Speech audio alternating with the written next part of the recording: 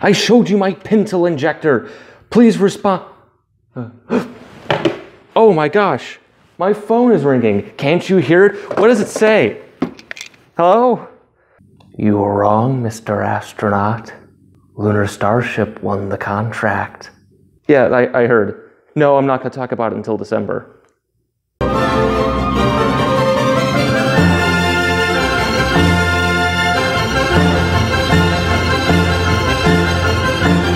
Morning, everyone. I can't read calendars. Today, we're going to talk about the HLS decision, why Starship won, and what this means for Artemis. I figured I'd do this because the decision and the GAO report are now still fresh in our minds, uh, and okay, I didn't realize Blue Origin would sue NASA over this, so so before we begin, I want to make a few notes. The first one is that this is an off-the-cuff video. I didn't plan on doing this, this isn't in the schedule. I have been reading about pressure fed launch vehicles and space guns for the last month, so that's been on my mind instead of lunar landers. So the second point is that criticizing Starship Part 3 will still happen in December. I'm only going to talk about Lunar Starship based on the GAO report and the source selection statement. Anything else will be saved for Part 3 in December.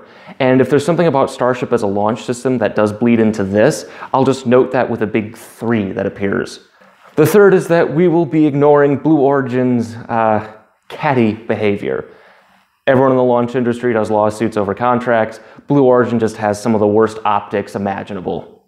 Four, I'm only going off what the source selection statement and the GAO report say. Nothing else. I don't care what Elon says or tweets. Five, for a full disclosure, the company I work for is named in the GAO report. It's not part of the lunar lander contract, but it is in this document.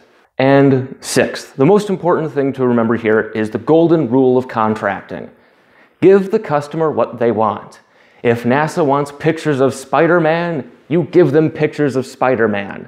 If you have Iron Man in the pictures, that's great, but what they want is pictures of Spider-Man. Okay?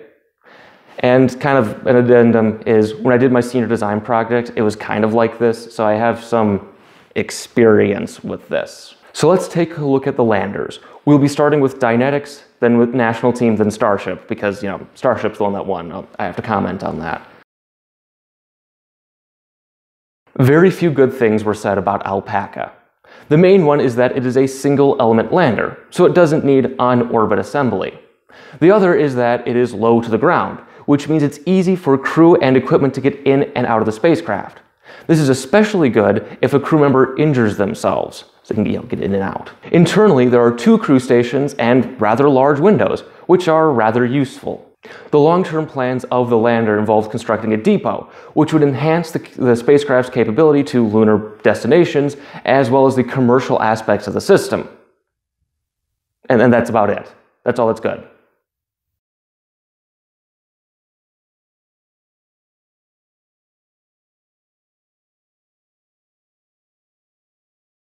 Another issue is the propellant resupply system, which, based on the source selection statement, Dynetics completely bungled. Specifically, the operational specifics of the system, the maturity of the Centaur tanker design, how they're going to manage the LOX methane propellant, and how they're going to get the design built and tested in time. That's bad. It's a key component of the system, and it was described as inconsistent and insufficient. Their development schedule was considered unrealistic as well, which kind of makes sense. Uh, a big issue apparently was the fact that their test missions weren't going to give them any meaningful data and lessons. So that's not good. So overall, not good. Okay, so I'm just going to read what I wrote because I'm just having one of those days where I can't remember anything. Okay, so National Team Lander. So for this, I think NASA was aiming for this to be their their selection, it kind of matches the concept art, and they gave it the most money. I think this is what they wanted. So they had two strengths for this in the source selection statement. The first is that they put a lot of effort into abort capabilities and contingencies for the lander, including surface operations. So they put a lot of effort into crew safety and making sure everyone didn't die. That's a good thing. The second is that they used dissimilar elements in the system, right? It's three parts built by three different companies with their own internal designs. So having that adds, adds safety, uh, right? So, for example, the ascent stage used pressure-fed hypergols. That's a good thing, kind of like the old LEM, right? Uh, let's see, this meant it could also be on multiple launch vehicles, which I, I actually is going to work against it, but we'll get to that. Uh, so it adds, adds flexibility to the system, right? Three launches, that's good. Uh, this selection also mentions the ability to handle more EVAs than they want and can carry uh, 850 kilograms extra cargo to the surface. So that's good. Uh, and now we get to the bad. So propulsion is their first big issue. Uh, none of the engines were at a TRL that would be considered acceptable, and Blue Origin did not address this in their schedule, right? So the, so the engines they're proposing aren't ready, and Blue Origin did not say, hey, here's our plan to make them ready in time to what NASA would want. So that's the problem. right? so well, a clarification. So when I did this in my senior design project, it used ion engines to get from low Earth orbit to the moon, and instead of using xenon, we selected argon. So for that, what we did was we said, okay, this is why we're using argon, and I designed a test mission to prove that argon would work as a propellant in our resupply system and just for fuel. So another thing, I'm, I, this, is, this is me speculating now, is that using BE7, a pump-fed engine on the descent element was also one of the big points of risk. Again, these are pressure feds. They're very simple. They have three moving parts, effectively. Right? Pump feds add risk and complexity to the system that NASA might consider unacceptable. So, oh, the engine development schedule, of course, was bad. Uh, specifically, the Ascent engines would be going through uh, preliminary design review after critical design review of the lander. That's just a no-no. The parts of the lander should go through their CDRs before the whole system. It's, it's like designing a cell phone without a battery. Uh, propellant management isn't good either, as noted. Blue was planning on using liquid hydrogen for the lander, which would require a lot of design and testing to make work. Uh, hydrogen is just a jerk, and they didn't adequately address this.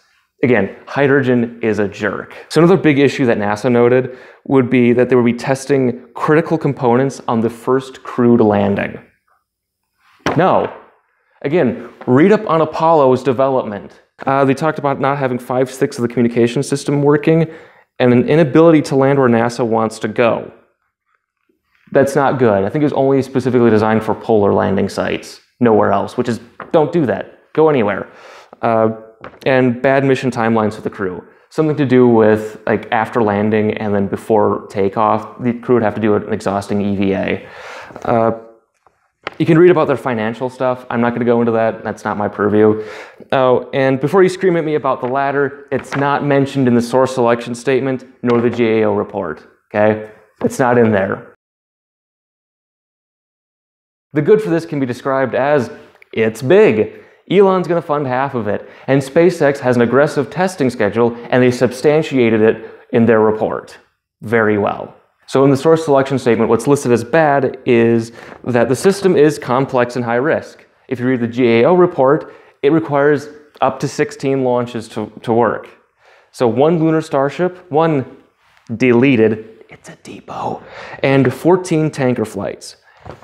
16 launches 12 days apart is complex and high risk with reuse and propellant transfer management on orbit. What they're proposing is a really, really big system. So another would be development times and schedule keeping. Uh, SpaceX has to get Starship architecture to work by 2024, plus the development of their pressure-fed LOX methane engines that they were that they, you saw, and their lunar-specific hardware. This was originally noted in the first source selection statement, which noted SpaceX as terrible at hitting schedules and deadlines. Again, you can read about this. Uh, oh, and the crew compartment is 30 meters off the surface. If you thought 9 meters was bad, Starship won because NASA has the budget for one lander, and SpaceX provided the best technical presentation of their system. Now, you're not here for me to scream about how all rockets are now obsolete because Lunar Starship was selected. So here's the thing Lunar Starship is bad. So the first thing here is I do think SpaceX has learned how to effectively underbid. Now, if you notice, if you read the GAO report, the SpaceX bid without Elon's money would cost roughly the same as the Blue Origin proposal. So it's not low cost. The other thing here is I am okay with Elon funding half of Starship development. Starship is his boondoggle. I don't want taxpayer dollars going into that as much as we need it, only for the lunar lander. So the other thing here I want to emphasize is cost isn't necessarily everything. I think technical competence should beat cost anywhere. But so the thing is, I don't think Starship's going to be cheap either, even with full reusability. But that's uh, secondly, uh, 16 launches should have been the biggest red flag of them all.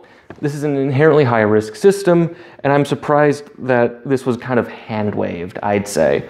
Uh, so I'm going to assume that SpaceX is really good at you know technical writing and substantiation for this. So if you want to be an engineer, uh, take note.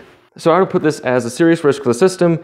That many launches means that many uh, possible failures, and could derail the whole thing. It, is, it depends on you know how long does deleted half before boil off becomes a problem. Uh, what about the tankers? What about again launch cadence and just operational capabilities? I know Elon said he's aiming for eight launches. Uh, that depends on how well this system actually works. Uh, boil off mitigation, tanker capacity, orbital operations, that sort of thing. Uh, now, again, personally, I don't think Starship will hit its weight targets or hit the cadence they want, but that's more for three. So my honest opinion is that the high launch cadence for this architecture, or any architecture like this, should have been the should have ended it. Should have said nope. Uh, also, Lunar Starship is simply too big to be a workable system for Artemis. NASA wanted a Gulfstream, and SpaceX gave them a 747. Now, 747s can work as really big business jets, but there are places that 747s can't go or aren't optimized for that a Gulfstream would be better. Starship is a poorly optimized system for this, and it should not have been selected. And in fact, none of these should have been selected. That's right, you heard me. None of these should have been picked. HLS is fundamentally flawed. And you can find this in the source selection statement with one word commercial. There are no commercial lunar needs bigger than a refrigerator, and there won't be any human commercial activity on the moon for a few decades. The fundamental flaw with HLS is this. To do a human lunar landing, you either need a super heavy lift launch vehicle or you need to assemble something in low Earth orbit. Uh, for reference, Apollo and the Japanese lunar lander proposals. Starship is bizarrely both of these. It's a super heavy lift vehicle that needs refueling to go anywhere beyond LEO. There are no serious commercial lunar launchers, and you can see this in the national team design, which was optimized for a 5.4 meter diameter fairing. Well, that means you end up with a vehicle that's tall and thin, like you ended up with. The only way to make a short and fat system, which would be more applicable, is to launch a lot or make an incredibly complicated system, which just isn't a good solution. This is why SLS having a launch cadence of one flight per year is a problem, because the Block 1B has a payload fairing 8.4 meters in diameter, and the Block 2 will have one that's up to 10 meters in diameter. This allows you A, the mass to the moon that's capable of building a sane lunar lander, and you can have one that's short and fat. In the description, I have a compendium of lunar lander designs for you to look at and browse just to see what kind of a nightmare this is. So look at that if you want to. I also think this problem comes from Commercial Crew, which I would not consider to be a resounding success. Starliner is, well, Starliner, and Crew Dragon had its problems early in development. SpaceX, you know, blew one up, their parachutes didn't work for the longest time, and both these capsules were horribly behind schedule, or still are. So at the time, commercial crew did make sense. The wind down of Constellation, NASA realized that using Orion for LEO and deep space missions was just not cost effective. So they looked at the few private companies that were independently developing their own crew capsules and decided to fund those to see if it would be a better and more cost effective option. So, you know, Kistler K1, the T Space CXV, Crew Dragon, that sort of thing. Uh, it made sense for NASA to take the risk on these and make Orion exclusively a deep space vehicle. That worked. HLS is not that. So, what does this mean for Artemis? Now, first, to assuage the fears of my more cynical viewers, Administrator Bill Nelson is trying to get Congress to fund another lander. And we see this in Appendix N I think. Don't quote me on it. It's something like that. I think they're trying to get funding for another one. Also, 2024 as a landing is pretty much not going to happen. This has been established because of HLS and because of the spacesuits. So 2026 or 2028 are more realistic landing dates. If I understand this correctly, Lunar Starship is only contracted for two landings, a demonstration mission and then Artemis 3, before the second round comes through. Don't quote me on it, but I think that's what's happening. Charitably, I do think Lunar Starship will work on a technical level, but with hefty teething issues and going way over budget. But that goes under. Again, I think Lunar Starship is a completely non optimized design. So, the middling response to this is that you could theoretically make a more optimal system out of Starship. You know, take the cargo section up top turn that into a two-stage lander, LOX methane still, then use the rest of Starship as a tanker, depot, that sort of thing. This could theoretically lower the mass of, of the whole system and probably need less launches overall, which means a less risk system that's less complicated.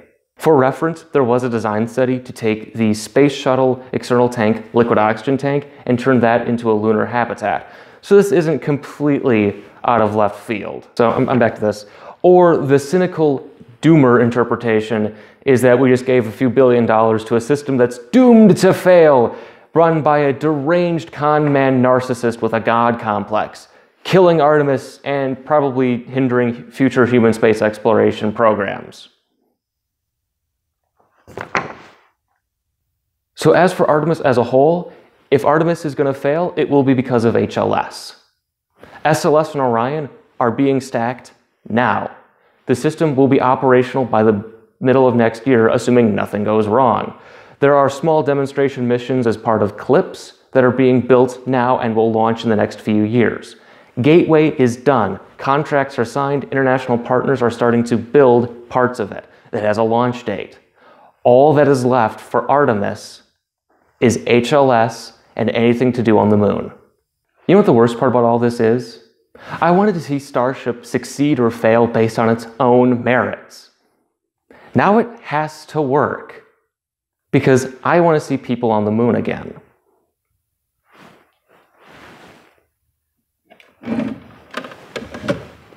Then, of course, uh, Lunar Starship will be the baseline for the 2070 series lander once Musk establishes the Mars free state. Wait, couldn't we just put a bunch of guys in a capsule and shoot them to the moon in a big space gun?